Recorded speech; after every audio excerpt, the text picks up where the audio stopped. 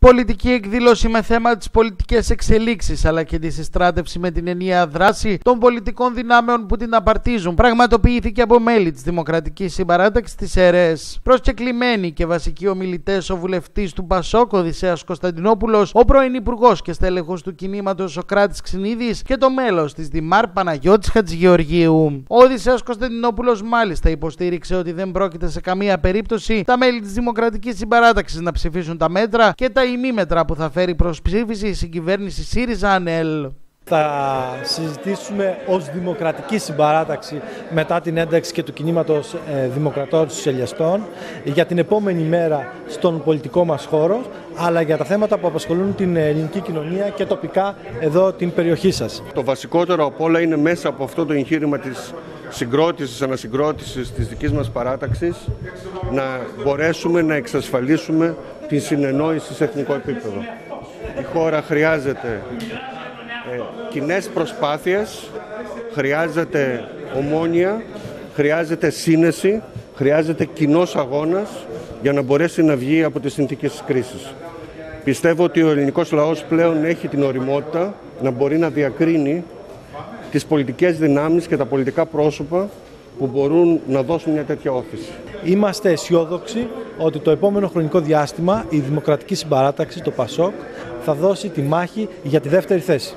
Μάλιστα, τα στελέχη της Δημοκρατικής Συμπαράταξης τονίζουν ότι ο κόσμος είναι έτοιμος να στρατευτεί και να εμπιστευτεί πάλι τις δυνάμεις του κέντρου που έχουν λύσεις, θέσεις και προτάσεις. Τα μέτρα και τα τρίμετρα ο λογαριασμός ανήκει στον κύριο Τσίπρα και στον κύριο Καμένο και το λογαριασμό τον πληρώσουν, θα τον ψηφίσουν μόνοι τους. Εμείς έχουμε θέσει πρώτη το θέμα της εθνικής συνεννόησης για να βγει η χώρα από τα διέξοδο.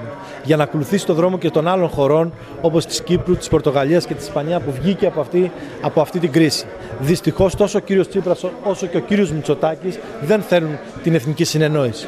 Γι' αυτό είπαμε ότι δυστυχώς αυτή τη στιγμή δεν υπάρχουν οι προποθέσει για να υπάρξει εθνική συνεννόηση γιατί οι δύο, οι δύο δεν το επιθυμούν. Γι' αυτό ζητάμε να αλλάξουν οι συσχετισμοί μετά από εκλογές, να στηρίξουν και να δυναμώσουν τη δημοκρατική συμπαράταξη για να αλλάξουμε τους σχετισμούς και να επιβάλλουμε εμείς την εθνική συνεννόηση και την εθνική στρατηγική της χώρας. Στην πολιτική εκδήλωση έδωσαν τον παρόν αρκετά στελέχη της Δημοκρατικής Συμπαράταξης και στελέχη της Νομαρχιακής Επιτροπής του ΠΑΣΟΚ. Εκείνο λοιπόν το οποίο έχω να πω σήμερα είναι ότι υπάρχει προσμονή από τον κόσμο. Περιμένει κάποια πράγματα από μας.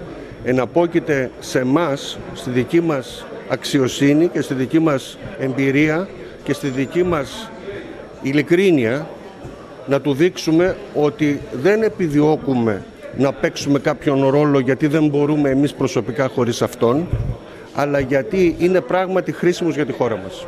Αυτά που βλέπουμε εμείς στην καθημερινότητα αλλά και στις δημοσκοπήσεις είναι ότι η Δημοκρατική Συμπαράταξη και σας το λέω ε, μέσα από την καρδιά μου το επόμενο χρονικό διάστημα θα δώσει τη μάχη όχι για να είναι ο τρίτος πόλος αλλά για να είναι η δεύτερη πολιτική δύναμη στη χώρα και θα τα καταφέρει. Ε, είναι μια ανάλογη των άλλων εκδηλώσεων ανά την Ελλάδα που, που διοργανώνει η Δημοκρατική Συμπαράταξη, έτσι και εδώ στις ΣΕΡΕΣ και από εδώ και πέρα θα ακολουθήσουν και άλλες παρόμοιες πολιτικές εκδηλώσεις ε, ανάλογες αυτών. Ο κόσμος ανταποκρίνεται στο κάλεσμα. Σίγουρα υπάρχει τεράστιο πρόβλημα στους νέους ε, γιατί απέχουν από την πολιτική, αλλά γενικότερα είναι μια θετική εξέλιξη τόσο για το Πασόκ όσο και για όλες τις τάξεις της Δημοκρατικής Συμπαράταξης, γιατί η Ένωση αυτή αποτελεί τη διεύρυνση τη συσπήρωση, την ενότητα και την άνοδο στις επόμενες εκλογές.